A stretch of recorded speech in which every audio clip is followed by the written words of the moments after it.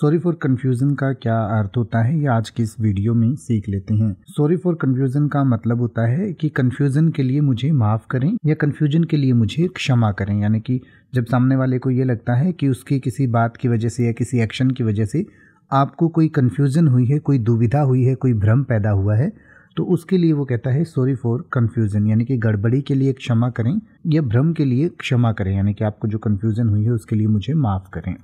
अब आप ऐसे ही किसी भी वर्ड का मतलब हिंदी और इंग्लिश में यूट्यूब पर सर्च कर सकते हैं। आपको मेरी वीडियो मिल जाएगी, जिसमें आप बिना किसी फालतू बकवास के सीधा उस वर्ड का मतलब समझ पाएँगे। तो ऐसी ही वीडियोस को देखते रहने के लिए चैनल को सब्सक्राइब करें और बेल आइकन को प्रेस करें।